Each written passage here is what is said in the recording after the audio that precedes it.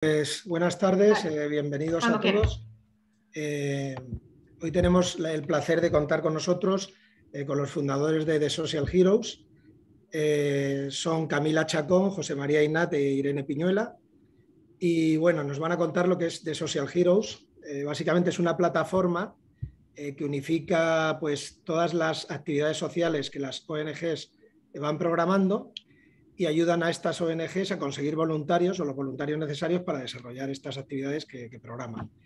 Eh, también nos van a contar un poco, como anunciábamos, los beneficios del voluntariado, tanto beneficios profesionales, psicológicos, sociales, etc.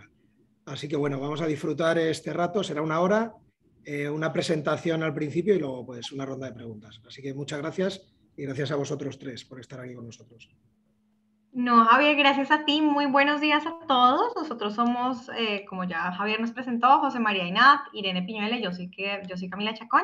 Primero que todo, quisiera saber si, si, me ponen ahí en el chat, no sé si lo tienen activo, desde qué países se conectan para, para, para sentirnos más cerquita. O si alguien tiene el micrófono y alguien quiere decir su país, no sé cómo, no, no puedo ver aquí el menú, pero si Colombia, lo poner. Colombia. Colombia. Wow, Colombia, súper. ¿Seguimos con Colombia?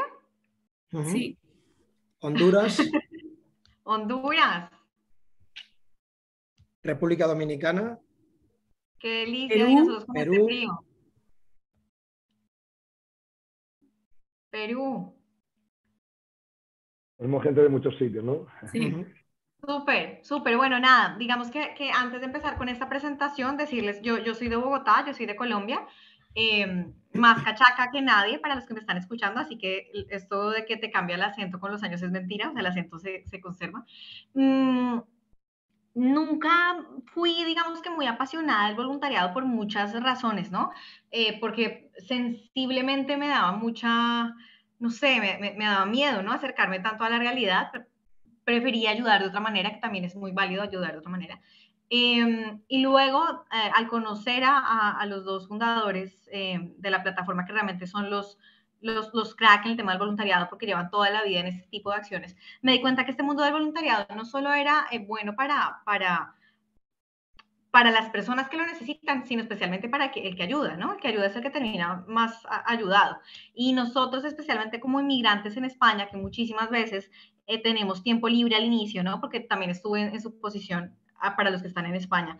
Eh, no sabes mm, cómo hacer ni siquiera amigos, no sabes a dónde ir, ¿no? No sabes a veces cómo conseguir trabajo, no sabes a veces cómo tener algo de currículum vitae en, España. Entonces, digamos que esto también les puede ayudar para que lo vean también toda la presentación desde esta perspectiva, a ver cómo el voluntariado eh, puede ser una gran parte y una gran ayuda, sino porque la mejor ayuda que puedes tener en tu experiencia como, como estudiante internacional en España. Entonces, eh, básicamente en la presentación les vamos a contar un poquito acerca de, de, lo que es el voluntariado en general para la persona que ya haya sido voluntaria, que sea voluntaria en este momento o que conozca el voluntariado. Sentimos, sí, lo hicimos un poco como para dummies, ¿no? Pero eh, yo agradezco, mmm, o yo hubiese agradecido que alguien me lo hubiera explicado de la manera en que se los vamos a explicar cuando no sabía nada. Entonces, ya, eso es todo. Muchas gracias y eh, bienvenidos a The Social Heroes.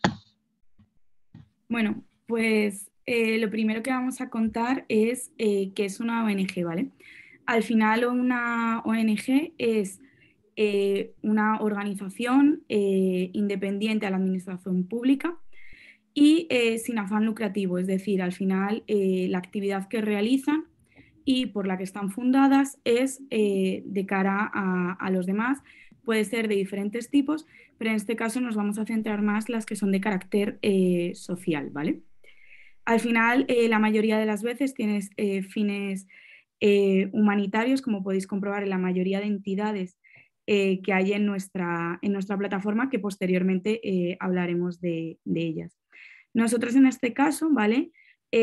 como ya han comentado anteriormente, digamos que somos, una, somos una asociación, pero lo que nos dedicamos es hacer ese puente entre gente que, por ejemplo, viene nueva Madrid eh, y quiere hacer eh, alguna actividad aparte de para conocer gente, también para poder eh, aportar ese granito aquí a, la sociedad, como gente, pues por ejemplo en mi caso, yo llevo bastantes años viviendo en Madrid Y hay muchos fines de semana que tengo un par de horas, cuatro horas libres, y me apetece también dedicárselo a, los demás. Entonces, lo que queremos es poder contactar con esas pequeñas entidades que están cerca de donde, de donde vivimos y que ellos nos proporcionen voluntariados pues para ese sábado que por la mañana lo tienes libre, poder dedicárselo. Al final, nosotros nos registramos como una asociación, porque una asociación al final es un conjunto de gente que tiene un mismo fin social y además es una forma jurídica eh, bastante sencilla para poder registrarse aquí en, España. Además, se nos acoplaba bastante bien a la misión que tenemos como, equipo.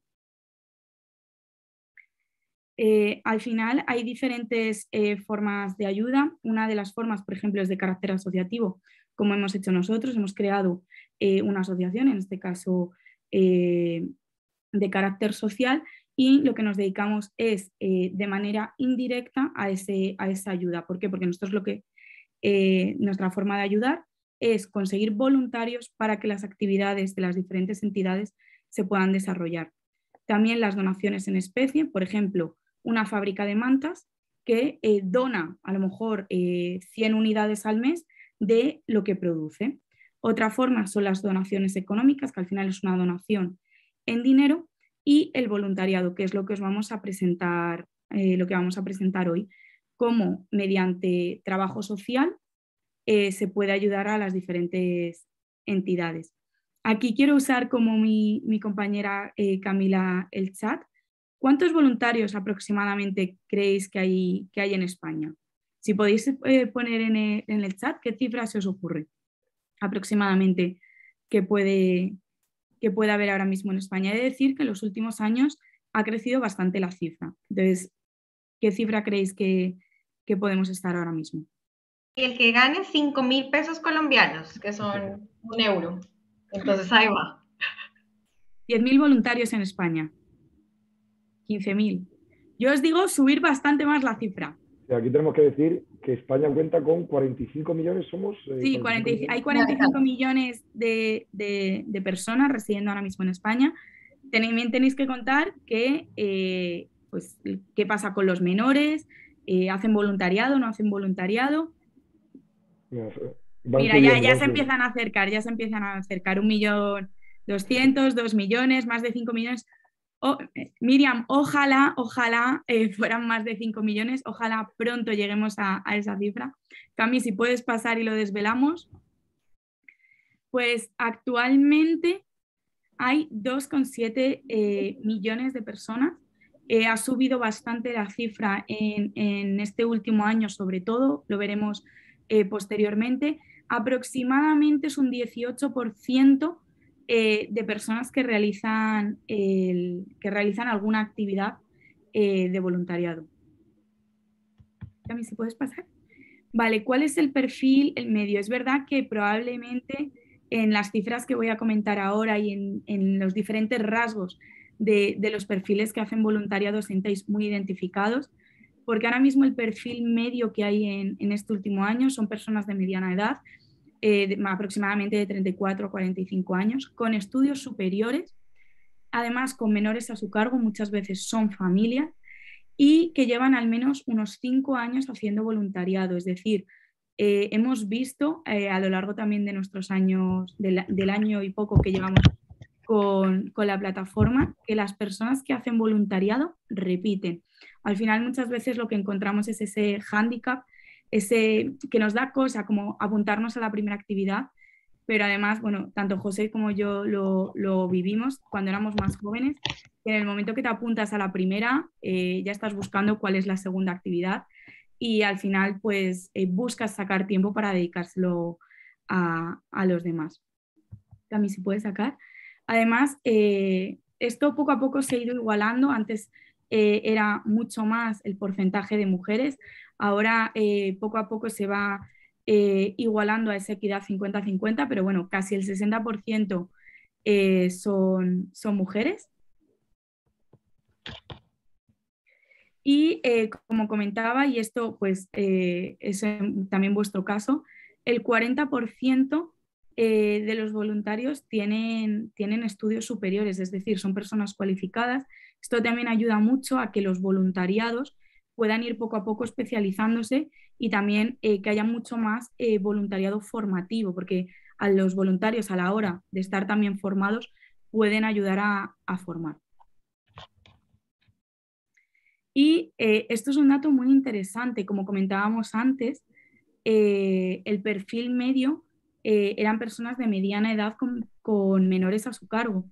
Esto hemos ido viendo que poco a poco el número de, de, gente joven, o sea, sobre todo niños, de 14 años que colaboran con, entidades, cuando hablamos en especie, hablamos eh, haciendo algún tipo de, actividad de voluntariado, eh, actividad eh, física o digital, pues va poco a poco aumentándose. Es decir, dentro de poco esperamos llegar a que casi la mitad de la población mayor de 14 años dedica parte de su tiempo al voluntariado.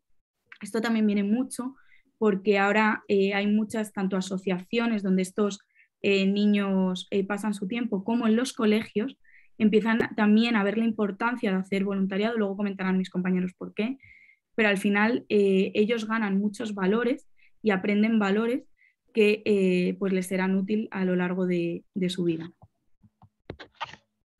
Y bueno, al final este último año ha sido un año, bueno, estos últimos dos años han sido dos años muy atípicos con la pandemia que hemos vivido y se ha visto, pues eso, como comentaba, eh, un aumento de personas que, han, querido hacer voluntariado, que han querido dar su tiempo y sus recursos a los demás para poder estar eh, más equitativos, porque hemos de recordar que en esta pandemia pues, ha habido situaciones en las que pues, bueno, se ha visto que ha habido una mayor eh, necesidad tanto de recursos como de alimentos como de ayuda. Y bueno, aquí un poco como comentábamos, las cifras de gente joven, en niños, eh, van poco a poco aumentando. Eso también viene porque muchas familias actualmente dedican parte de su tiempo libre a hacer voluntariado y eh, seguimos eh, en el mismo nivel que las personas mayores, en este caso de 65 más, que son personas ya jubiladas, como disponen de bastante tiempo libre, pues un 30% eh, dedican su tiempo a, los demás, sobre todo en pequeñas asociaciones en su barrio o en su zona eh, cercana. Y bueno, aquí un poco comentábamos porcentaje de, hombres y mujeres y que cada vez vamos más a, esa equidad y eh, en, ambos, en ambos sexos hay más porcentaje de voluntarios. Bueno, beneficios del voluntariado, y aquí digamos que les quiero hablar muy primero a título personal. Yo empecé a hacer voluntariado hace unos seis años, cuando vivía en Barcelona y estaba haciendo un, máster. Y me acuerdo que la, la experiencia fue, digamos que la experiencia fue para mí, a diferencia de Irene y, de José María, distinta, ¿no? Porque me di cuenta de qué manera era la manera en que yo podía ayudar. Yo empecé a dar en un barrio que se llama El Raval, que hagan de cuenta, en Bogotá, que es como, no sé, como Ciudad Bolívar, más o menos. No, pero guardando las diferencias, o sea, no, no, no es un barrio peligroso, peligroso como en, como en Colombia sería, pero aquí ah, digamos que es un barrio eh, donde hay un cierto tipo de problemática social, ¿no? Yo daba clases de zumba eh, en las tardes y luego les enseñaba eh, inglés. Em, y ellos realmente no estaban muy cansados, ¿no? Eran niños que, venían de, de, una situación muy difícil, sus mamás, eh, la mayoría eran prostitutas o vendían droga y bueno, toda la situación. Y esta era una asociación cristiana, ¿no? Yo soy, yo soy católica. Digamos que terminé en esto, luego me di cuenta que, que era o sea, yo terminaba muy, muy, muy sensibilizada por el tema y cada vez quería hacerlo más y más y más y cada vez hacía tratos con ellos, ¿no? Decía, bueno, si no quieres aprender matemáticas, hoy te enseño reggaetón. Si te enseño a bailar reggaetón, ¿aprendes matemáticas? Ok, te enseño matemáticas. Si te enseño a bailar salsa, ¿aprendes inglés? Ok, aprendes inglés. Y terminas tú haciéndote una comunidad tan bonita, tanto así que hace como, les digo, no sé, hace como dos años, mi papá tenía que venir por un tema de trabajo a España y estábamos en Barcelona y estábamos en el Raval a medianoche, donde obviamente hay pues mucho tema de, de, tráfico de, sí, de tema de drogas y demás. Y las personas que vendían las drogas en la calle me saludaban porque eran los papás de estas niñas y mi papá me decía, pero, pero Camila, ¿tú cómo los conoces? ¿No? Em, y, y era precioso, era precioso porque me acuerdo que una calle estaba cerrada, ellos nos, abrieron, nos ayudaron a abrirla, eh, nos guiaron, es decir, que terminas haciéndote amigo de todas las personas y es súper bonito ver cómo al fin y al cabo ninguna diferencia social, ni de condición, ni de profesión importa, ¿no? Eso es súper importante. Entonces, a mí, digamos que, que me funcionó para, para darme cuenta del beneficio del voluntariado, que haciendo voluntariado entendí cuál era el voluntariado que me gustaba y entendí que el voluntariado que me gustaba era realmente hacer, no ir a recoger basura, ni ir a donar comida, ni porque lo hacen y es precioso. Pero a mí me servía el voluntariado profesional, que si yo bailo zumba toda la vida, bailo zumba. Que si yo soy experta en marketing, les empecé a hacer videos, les empecé a ayudar con locuciones. Que si tú eres contable de accountability, entonces vas a ayudarles a hacer la, el tema de administración. O sea, que no, no piensen que hacer voluntariado, porque eso lo vemos así en Colombia, es ir a recoger basura también. No piensen que hacer voluntariado es ir a eh, construir casas eh, en temas muy precarios también. Pero voluntariado también es ayudar con lo que tú sabes de manera totalmente desinteresada, sin fines de lucro. Y en recursos humanos hablamos de tres motivaciones en la vida de una persona, ¿no? La primera, la motivación intrínseca, la motivación perdóname, la intrínseca, la excéntrica y la exocéntrica, ¿no? ¿Cuál es la diferencia? La intrínseca es cuando tu trabajo diario te da una, eh, una motivación. Hagan de cuenta que toda la vida tú quisiste ser periodista y entonces sales en televisión y eso te enriquece, ¿no? Tu, tu espíritu, tu alma, lo que tú pensabas que iba a ser tu vida, eso te enriquece tu, tu, tu modo de, de, ver tu realización en el mundo, por decirlo de alguna manera. La excéntrica es todo lo que es externo, es decir, todo lo que es el dinero, y hay una motivación que muy pocas personas eh, llegan antes de morir en su vida, y es la exocéntrica. La motivación exocéntrica es eso que tú em, no puedes explicar porque tienes un impacto social tan grande que es mucho más lo que estás recibiendo tú a lo que estás dando. Y esto es el voluntariado es descubrir, así como el día, el primer día que tomaron ustedes vino y dijeron, wow, ¿qué es esto? O el primer día se comieron una Pop Tart y dijeron, wow, delicioso, es entender y saborear una, una sensación personal que nunca antes han sentido y que si no lo prueban, nunca van a poder saber eh, lo que se siente, ¿no? Esos, digamos que, que los beneficios, eh, aquí hablando de manera muy, muy personal y muy eh, coloquial, ¿no? Mm, beneficios, obviamente, en temas mentales está comprobado que el voluntariado eh, disminuye un montón temas de depresión. De hecho, en Colombia eh, alguna vez trabajé en temas sociales con, con, la clínica Montserrat, no sé si la conocen, y ellos ven que muchos pacientes en temas de depresión, de tristeza, de soledad, de frustración, de miedos, ¿no? De ansiedad, el momento que hacen voluntariado, esto es como apague y vámonos porque es como decir, Dios mío, santísimo, yo de qué me estaba quejando si es que ellos no tienen nada y yo lo tengo todo. O al contrario, eh, ellos lo tienen todo y yo no tengo nada, porque por dentro no tengo nada. No, digamos que estoy siendo muy dura con lo que estoy diciendo, pero es un, un shock, ¿no? Digamos que si tienes en ese momento tristeza, depresión, si crees que tu vida es la peor, que no hay nadie más miserable que tú en el planeta Tierra, ve a hacer voluntariado a ver el día de mañana cómo te levantas, a ver si la ansiedad te reduce, a ver si la depresión te reduce. Entonces, esto es un tema integral y es completo. Digamos que por estar con nosotros en The Social Heroes, no van a tener que pagar un euro ni a nadie un euro, o sea, no se los estamos vendiendo como un tema económico, esto es un tema meramente social de parte y parte. Se los digo de manera eh, consciente, ¿no? Como, como, como seres humanos. Y eso es súper importante y súper bonito. Así que si conocen a alguien hoy que está en una situación de estas, eh, pueden sugerirle que haga voluntariado a ver eh, si funciona hasta más que un psicólogo, ¿no? Porque es la realidad y es la humanidad con la humanidad. Eso por un lado. Por otro lado, eh, tenemos los beneficios em, legales, obviamente. Esto alguna vez yo, yo lo hice cuando estaba en Barcelona. Y es, en España hay varias maneras de, de, de quedarse o de venir, si están en este momento en Colombia, haciéndolo de manera presencial.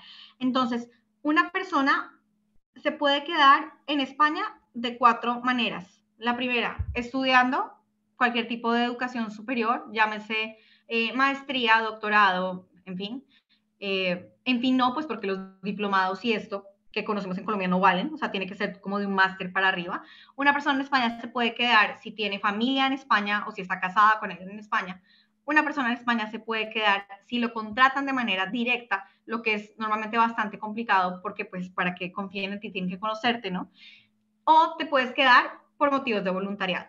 Entonces, em, la ley orgánica del BOE, que es el Boletín Oficial del Estado, no recuerdo de qué año, esta ley es del 96, pero la volvieron a modificar, si no estoy mal, en el 2018-19, tiene una figura que se llama la autorización de estancia por servicios de voluntariado.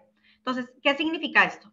Esto significa que si ustedes vienen a España o están en España en este momento, están terminando un máster y se acaba el tiempo de estudio si no tienen una práctica o no están en la capacidad económica ni, ni, de tiempo ni de disponibilidad para hacer otro máster, en fin, y no, no tienen otra manera legal de quedarse acá, eh,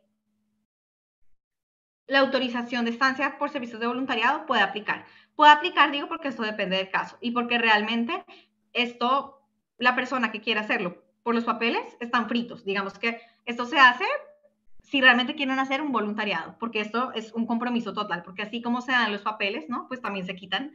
Entonces, ¿en qué consiste la autorización de estancia por servicios de voluntariado?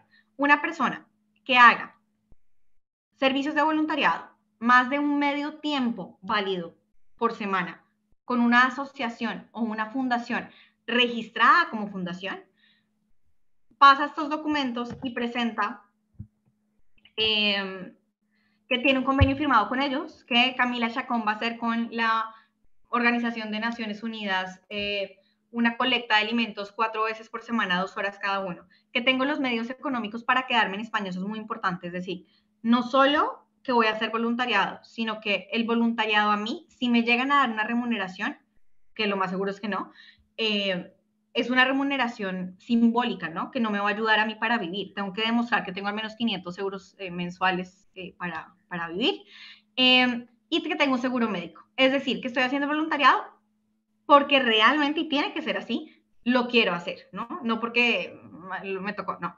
Em, y em, si esto se cumple y les dan esta autorización para quedarse, es un periodo máximo de un año mínimo de seis meses. Además de esto, el otro medio tiempo los dejan trabajar. Es decir, que si tú eres una persona que en este momento estás en Colombia, suena como una televentas y me estás viendo, entonces, y quieres venir a España y quieres en algún momento trabajar, pero quieres experimentar este año sabático de, de ayudar y de estar en voluntariado, esta es como tu oportunidad, ¿no? Y es, les puedo pasar la página por medio de Javier, ustedes averiguan, ahí hay un montón de, pues, de ayudas directamente del, gobierno, miran qué asociaciones aplican y qué otras no, porque eso no se los podemos decir nosotros.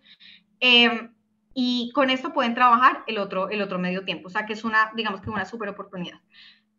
Ya como plataforma, ¿cómo les podemos ayudar? Todo lo que son temas legales y digamos que de, de beneficios que les estamos explicando, eso no lo hacemos nosotros, o sea, eso se hace directamente con un abogado que tengan o con el gobierno, se los estamos explicando grosso modo porque son los beneficios eh, generales a nivel paisaje que pueden hacer.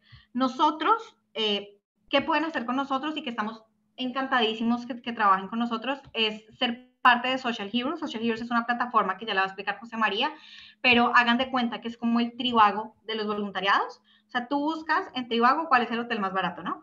Pues acá no buscas cuál es el más barato, sino buscas el voluntariado que más te guste y que más se ajuste a ti, que sea en especie económico, que sea por horas, una hora a la semana, una hora al mes, todos los días, o sea, depende de tu disponibilidad totalmente.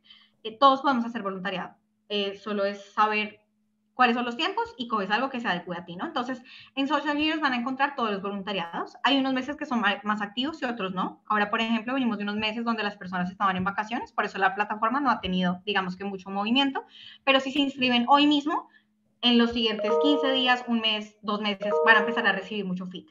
Entonces, en esta plataforma, eh, como nació, la empezamos a crear para cualquier tipo de ayuda, pero cuando llegó el COVID, pues nos dimos cuenta que la gente necesitaba sacar al perro, ir a hacer el mercado, ir a comprar las medicinas, tantas cosas que, que si vives solo y si eres mayor y si estás enfermo, y más si tienes COVID, pues no puedes hacerlo, ¿no? Entonces, em, lo empezamos a hacer para el tema del COVID, fue muy bonito, tuvimos casi más de 500 voluntarios durante el COVID, teníamos historias preciosas, que no me largo más porque ya he hablado mucho, pero em, bueno, eso de la plataforma. Entonces, eh, sigue José María, perdón. Sí, aquí Javier, y bueno, yo eh, buenas tardes a todos y en primer lugar volver a daros las gracias por, por estar hoy, hoy aquí con nosotros. Eh, yo quiero incorporar una cosa a lo que comentó Camila y es por qué nos juntamos eh, Irene, ella o Camila y yo. Bueno, al final empezamos a trabajar en una empresa en Madrid y, y en una de las reuniones, en uno de los cafés de esos de media mañana, dijimos, oye, desde hace tiempo estamos haciendo voluntariado, pero realmente nunca, nunca hemos encontrado una plataforma digital en la que, en la que se pueda, de manera sencilla, acudir a esa información. Eh, y al final, bueno, un poco reflexionando y, viviendo las tendencias que vimos ahora de que todas las grandes empresas, todas las grandes estructuras son plataformas que dan la información a las personas. Hablamos, por ejemplo, de un booking, de un idealista, son comparadores y eh, portales de información donde las empresas, o en este caso las entidades, se muestran. Entonces, eh, nuestro punto de unión fue ese, eh, hoy estamos aquí tres personas, pero me gustaría hablar eh, en nombre de todas. Eh, actualmente somos 11 personas en el equipo, contamos con personal de comunicación, con embajadores, nosotros que somos las personas de estrategia de cada una de las ramas. Pero bueno, teníamos la necesidad y teníamos como, digamos, tres bloques. Uno le llamamos nuestra misión, que era, ¿qué buscamos? Buscamos a personas, ¿vale? que nosotros llamamos héroes, para conectarlas con nuestras entidades, que son las ONGs, para que, digamos, esas ONGs pudieran hacer las actividades que, muchas veces han pensado y algunas veces no han llegado a desarrollar por falta de personal. Otra es eh, nuestra visión.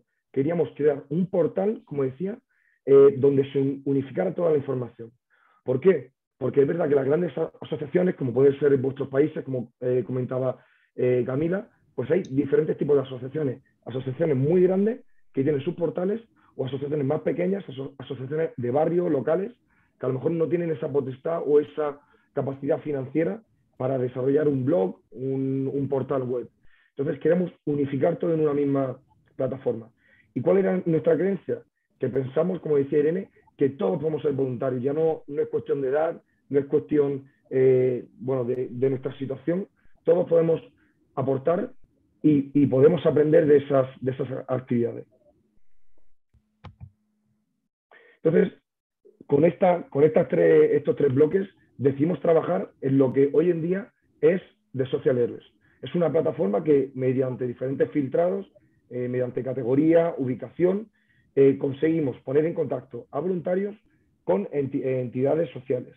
Al final, eh, y lo vamos a ver a continuación, llevamos, bueno, llevamos en torno a dos años trabajando, tenemos unas 50 ONGs que trabajan eh, en puntos, digamos, o en actividades eh, físicas, es decir, presenciales, y otras eh, de manera remota, que yo creo que también son las que más os pueden interesar si os encontráis en otros países o si os, encontráis en, en, España.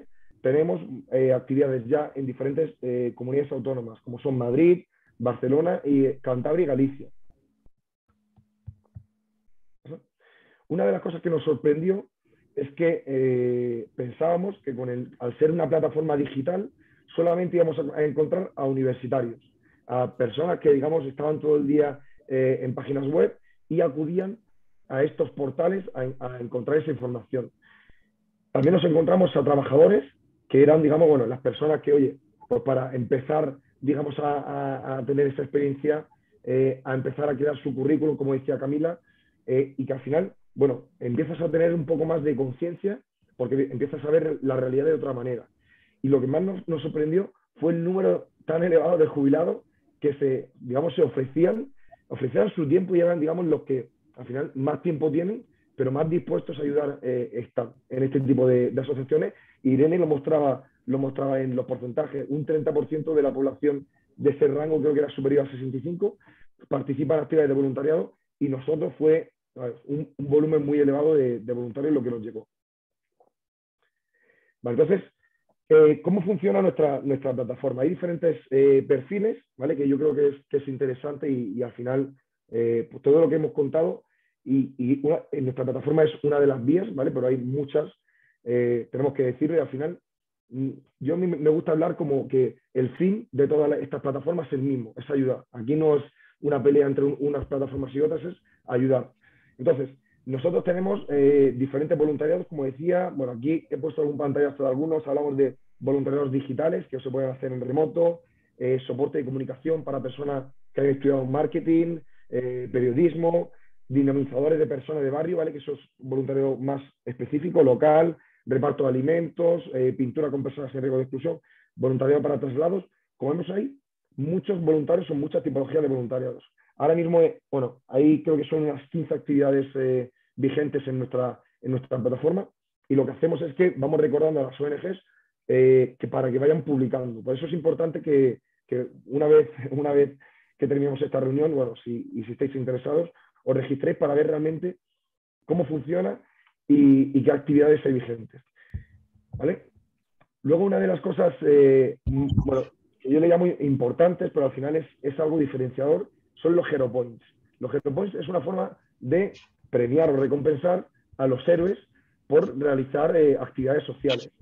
Em, al final, bueno, aquí he puesto, por ejemplo, mi perfil, ¿vale? Que son, oye, diferentes actividades que he hecho y los puntos que he ido acumulando. Estos puntos, Hero Points, ¿para qué sirven o para qué se, se, dedican?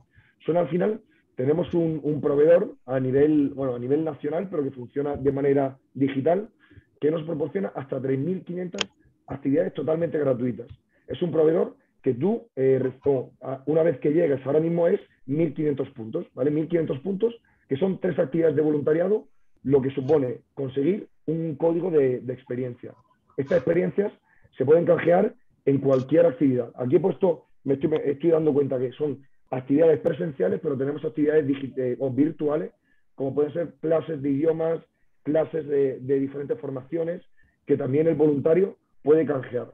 Una de las cosas que nos pidieron las ONGs es que, oye, yo por ejemplo, pues eh, a lo mejor no me interesa o no me apetece hacer ninguna de esas actividades y lo que, lo que quiero hacer es donarlo a la ONG. Pues hay una opción, ¿vale? A la hora de canjearlo, que tú puedes donar tus puntos para que esa ONG los disfrute. Vamos a imaginar que es una, es una, entidad que colabora con niños en riesgo de exclusión. Y, es, y, y esa entidad pues ha pensado que puede darle formación en inglés o en cualquier otra tipología oye, pues se le puede, se puede donar esa actividad que es totalmente gratuita, tanto el voluntario como para la ONG cuando es donado.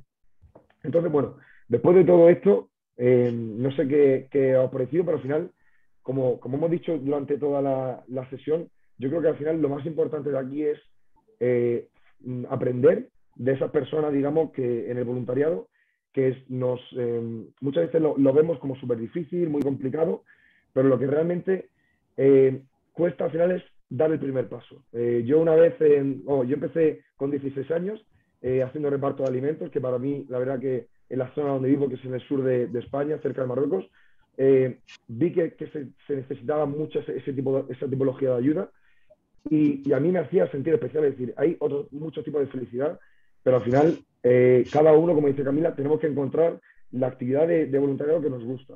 Así que os invito a registraros en, en The Social Heroes eh, y así que esperamos veros pronto y, contar con vosotros. Si te parece, José María, un segundito les mostramos cómo meterse en la plataforma directamente para que ellos sepan. Sí, y de hecho estaba pensando que a mí a lo mejor voy a, voy a poner el, voy a poner el, el link, ¿vale? Súper, súper. Yo quería empezar primero con que todos en este momento, y, el que no lo haga lo, sacamos directamente de la videollamada, eh, pueden entrar eh, a, a, Social Heroes en Instagram para que nos busquen, porque ahí digamos que, sabemos que hoy en día nosotros, los millennials, que ya no somos tan millennials, eh, nos gusta ver más todo por Instagram, entonces si se meten a The Social Heroes, rayita abajo, se escribe si te meten ahorita en Instagram, arroba de social héroes, rayita abajo. Eh, van, a, van a poder seguirnos en, Instagram y queremos hacer, eh, no sé si José María me lo permites, un concurso que la primera persona que nos debe seguir de todos le regalemos un código de regalo. Por supuesto, por supuesto. Súper, entonces estoy, estamos esperando. Ah, espérame que yo hoy no tengo acceso, pero Irene, ¿puedes ver quién es la persona? Sí, es que están llegando un montón. ¿Eh? ha, habido, varias, ha habido varias antes de. Sí, sí, sí. Mira, pero participo, ¿eh? Que le he dado. Ah, bueno, bueno. Mira, tenemos. Mira, la, primera persona que se ha registrado hace, es que tenemos desde hace 10 minutos Verónica Garces Pitia, no sé si está por, por aquí. Sí. Verónica Garcés. Pues, eh, pues, ha sido la ganadora, así que luego tendremos un, mensaje directo, ¿vale? Cami, estás presentando la pantalla, ¿eh? No sé si quieres dejar de presentar o...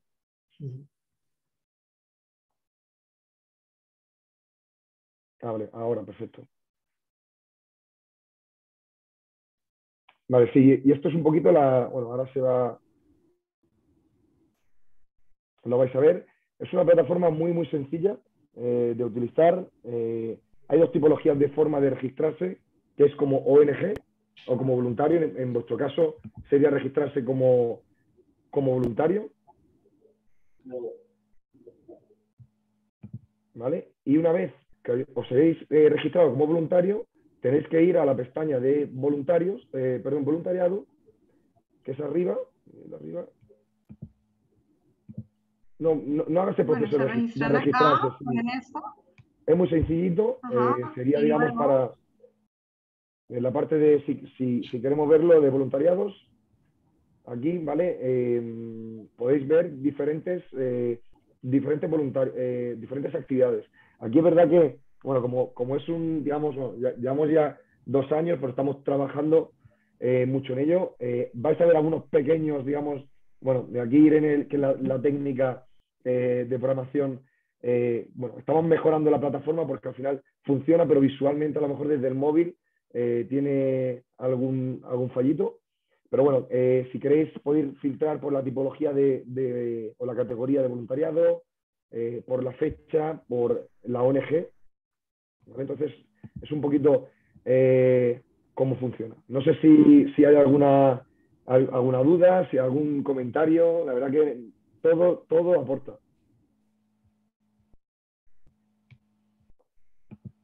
Bueno, yo mientras eh, surgen algunas preguntas, me parece una maravilla lo que habéis creado.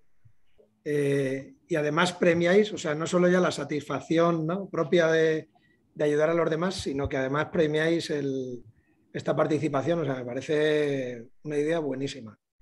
Os felicito porque me lo había contado Camila, pero vamos, me ha gustado muchísimo. Pues muchas, muchas gracias, Javier. La verdad que, que yo, bueno, ahora mismo eh, tenemos registrados unos 1.000, 1.200 voluntarios y, fíjate que eh, cuando, cuando eh, apareció la pandemia, nosotros cambiamos nuestro modelo totalmente, ¿vale? Para, los, para ayudar en ese momento al COVID, a las personas que, que tenían problemas a salir a comprar, a pasear incluso a perro o a comprar a la farmacia. Entonces, en ese momento nos escribían de muchísimos países, sobre todo aquí, eh, bueno, eh, de Colombia, porque Camila tiene bastante influencia allí, y nos escribían, oye, queremos esta plataforma para nuestro país porque estamos aquí, queremos ayudar o queremos saber cómo ayudamos. Entonces, es una plataforma que no sé si llegaremos a ese punto de, digamos, de, crecimiento, pero es una, es una plataforma que al final intenta aunar toda esa información para simplificarlo. Entonces, eh, yo creo que es, es, una idea sencilla de entender. La parte de los puntos eh, es verdad que nosotros no, le llamamos remunerar al voluntario, porque al final no es un dinero, sino es un código que se canjea por una experiencia. Incluso siempre proponemos hoy a los estudiantes, estamos trabajando con universidades, que lo dediquen en formación, que lo dediquen en aprender idiomas, en otros skills. Entonces, es como un poco también ayudarnos entre todos a, seguir creciendo y a, y a seguir sumando. José, nos hacen varias preguntas. Eh, os podéis comunicar por nosotros bien por redes sociales, tenemos Facebook, LinkedIn, eh, Instagram sobre todo, que es lo que, lo que más usamos porque al final es, lo que más eh, se usa. También si nos escribís al correo, también os, os, contestamos. También preguntan, voluntariado digital, embajadores solidarios. Jennifer, si tienes alguna duda con un voluntariado en concreto, nos puedes escribir pues, o al correo o al Instagram en este caso, este voluntariado eh, pertenece a una ONG, entonces eh, si tienes cualquier duda te podemos poner en contacto con ellos o si quieres hacemos nosotros de, intermediarios. También deciros, si os ha gustado el proyecto, eh, bueno, como ha comentado José, ya somos 11, eh, eh, seguimos recibiendo a gente, entonces es decir, si queréis colaborar también con, nosotros, nos escribís y vemos a ver de qué manera podéis, podéis echar una mano porque estamos también en, plena expansión. ya estamos en varias comunidades autónomas de, España y la idea es que poco a poco podamos estar en, todas.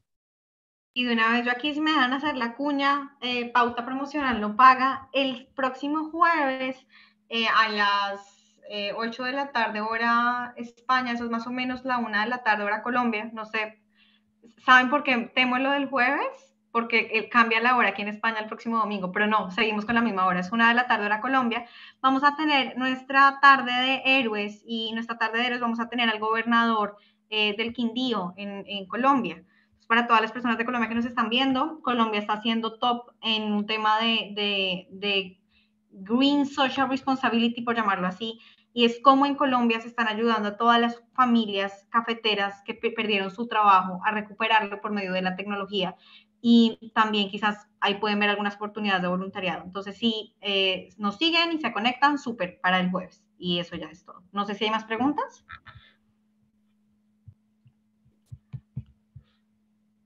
Una pregunta más. Al que se ganó el código de regalo lo contactamos, no se preocupen. Yo sé que él debe estar ahí con, la espinita de qué pasó con mi regalo. Eh, sí, la, es, por Instagram. Es el próximo eh, jueves a la una de la tarde, hora Colombia. Entonces se conectan, pueden ver el live y, pues bueno, eh, va a estar va a estar súper. Pues si no hay más preguntas, muchísimas gracias Javier, muchísimas gracias a todos los de marketing por su ayuda y ustedes por conectarse y levantarse temprano. Pues gracias a vosotros. Por suerte hay gente que, se ocupa de los, de los desfavorecidos, ya que los gobiernos no pueden o no dan abasto no quieren. Pero bueno, lo tendremos que hacer entre, entre todos. Entre todos, entre todos. Así que bueno, de nuevo felicitaros. Me parece una iniciativa fabulosa. Y gracias a Virginia también de marketing, como decía Camila, José María, Irene, Camila, que bueno, Camila ya es una habitual, nos está ilustrando con su sabiduría en EU de, en muchos campos. Y bueno, y gracias a los participantes, tanto de España como de, Latinoamérica. Así que nos vemos en futuras ocasiones. Perfecto, muchas gracias. Gracias, Javi. Gracias a todos. pronto a todos. Un abrazo. Chao. Hasta luego, adiós.